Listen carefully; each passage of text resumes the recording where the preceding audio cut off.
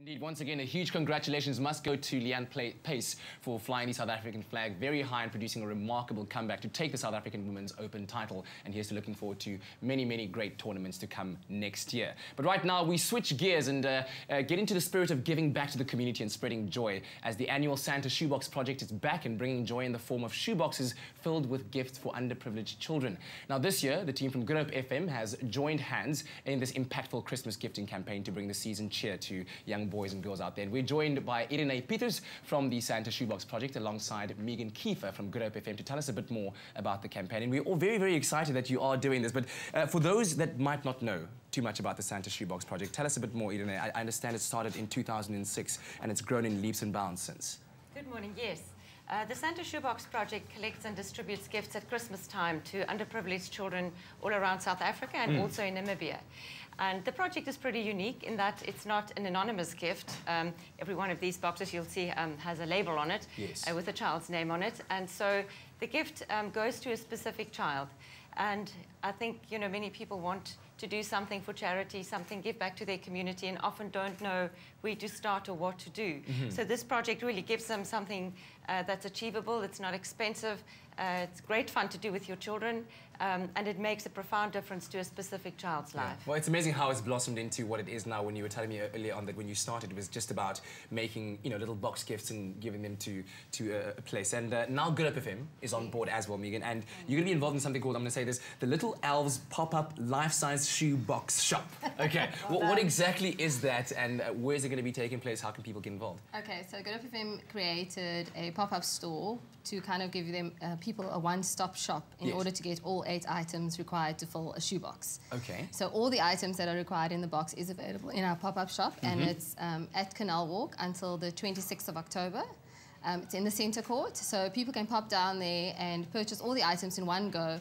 There's ladies on hand to help wrap the box, yeah. and you can decorate it and you can post it which we will then hand over to um, the ladies at Santa Shoebox Project on the 31st of October. Yeah. And how, how many children are you aiming to reach this year with the campaign? 100,000 children this year. 100,000 yes. children. Okay, and, and so far, how far have you come? We are sitting at about 96% um, wow. of this target, yes, so we have about two weeks to go.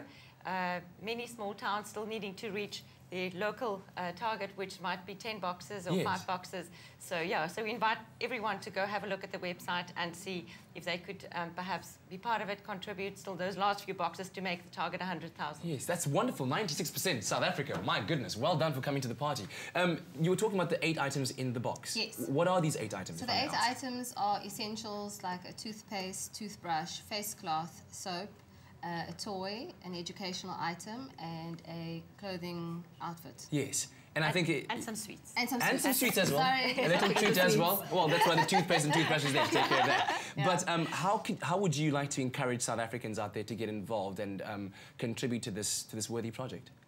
You know, we, um, even though our target is 100,000 this year, once we run out of names, because that's always a big thing, you know, you run out of names. I still wanted to do a box and you don't have any more names.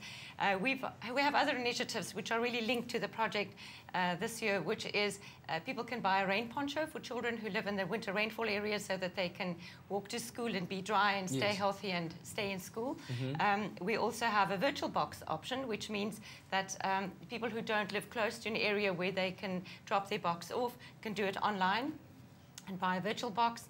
Um, and then we have our Santa Shoebox Legacy, yes. which is um, helping us, you know, teaching our caregivers of the more than a thousand facilities that we support um, skills. And our skill uh, running into next year will be basic first aid, yeah. which will benefit not only the children in their care, but the wider community as well. Fantastic. And I'm sure that the, the, the reactions and the results you've seen from this project over the years has been absolutely amazing. The smiles on the children's faces is, is what's most important at this time. Before you end off, yes. I want to do challenge Expresso oh. to come down and fill this very empty to the, to the, little elves uh, life-size shoebox shop. shop. Yes. All right, we have been challenged and we must fill this one. Yes, please. Well, I hope we'll fill this one and many, many more indeed. Thank you very much, Thank ladies. You. And good luck. I hope that you reach 200% of your target that you've aimed for this year.